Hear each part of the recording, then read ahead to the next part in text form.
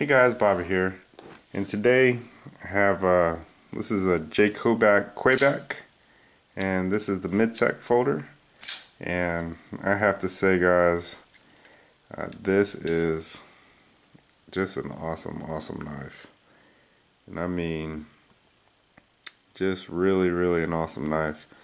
Now, uh, this is one of my friend's uh, knives, and he's letting me borrow it, and uh, he put in the order for this. Uh, it almost took him a year to get it. Uh, I know Jake had some problems, uh, you know, getting these mid-techs out. Uh, he had a lot of machine shop issues, and so uh, the guys that got these, you're pretty much almost getting a custom knife from Jake.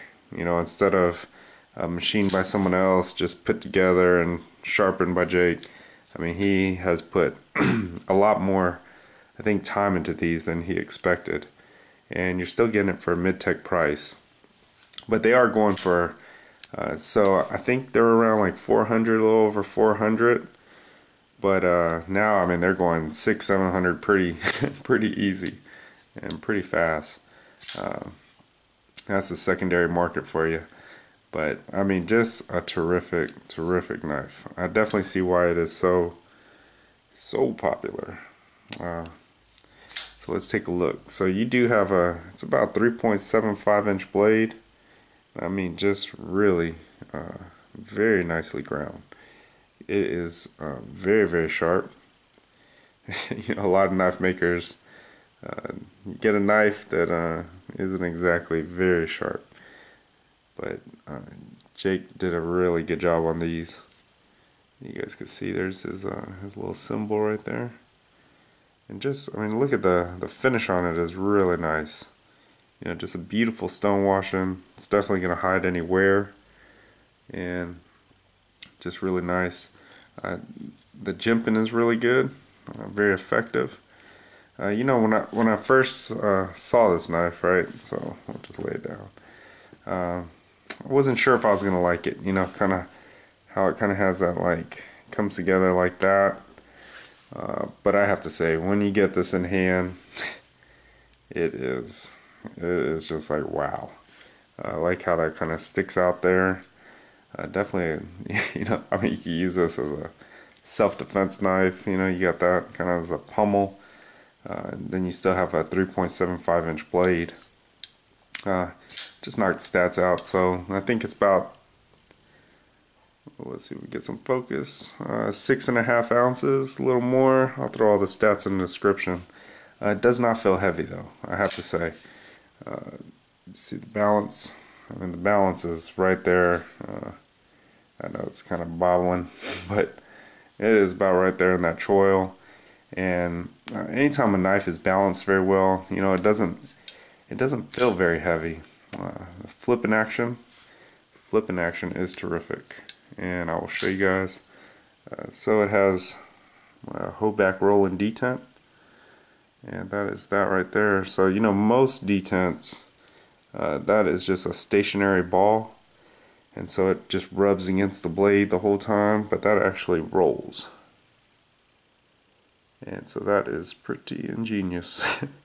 then on top of that, um, it's adjustable. You know, uh, adjustable detent. So if you want it harder or softer, uh, you can adjust it the way you want. Now, can you imagine uh, this knife with uh, adjustable detent? You know, that is one thing. You know, a lot of people license that uh, Hinderer or stabilizer from from Rick Hinderer, but uh, if he would do a whole Hoback rolling detent, I think that would be awesome. Uh, and that would eliminate, you know, a lot of complaints. Because I think that's the number one complaint on these knives is, you know, people say they don't flip. And, you know, it's a real soft detent. I mean, if I don't, you guys see, if I don't, uh, you know, flip it, then it's not going to flip. And that's just because the detent is so light. So if that had a Hoback rolling detent, that would be awesome. Uh, let's take a look at that. So you guys can see, see it does a little cutout right there. Now that is just a great design also. So because the, you guys see that, that detent ball, just goes right in there. So it makes it so, you know, even though that detent is sticking out some, uh, to close the knife is just super easy because it's kind of ramped. And I think that it's just a great design. Uh, the machining is awesome. And there is no machine marks. And you guys see I'm shining the light off of there. And I mean just no machine marks at all. So just very, very beautiful. You guys see the finish on it. And look at the fit.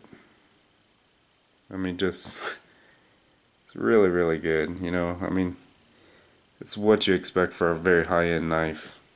Uh, very beautiful finish. You know, uh, you can pick up, uh, Jake also sells, you get the custom pocket clip and custom pivot. But I have to say, I, I really like this pivot. Uh, especially, you know, if this can be a carry knife. Um, so easy to adjust. And I mean, it's it's the basics, and it's you know, uh, sometimes uh, sometimes basic is is beautiful, right? Mean, that's the that is the call of the Sebenza. You know, not a lot to it, but it's you know simple and elegant. I have to say, I kind of like you know just the simplicity. It's very nice. Uh, he does a Bible verse. You know, right there. I'm not sure which uh, what Bible verse that is. If you guys know it, just uh, you know, someone put down there uh, in the just in uh, the comments. Very beautiful though. Very very beautiful blade. You can see a symbol. Uh, yes, you know, pretty simple. got some standoffs you know, I thought as a, I was honestly expecting it to be heavier. Whenever you see it in the pictures and everything, you know, uh, it looks like a very, very uh, big, beefy knife. Uh, here's my uh, Les George Talos, which you guys can see. Uh, blade lengthwise, they're exactly the same. You got a little bit extra with this handle. Uh, it's not, you know, obviously it's not going to be as big as a a Grayman Satu. Uh, anytime you think a knife is big uh, or heavy, pick this up. Uh, let's see.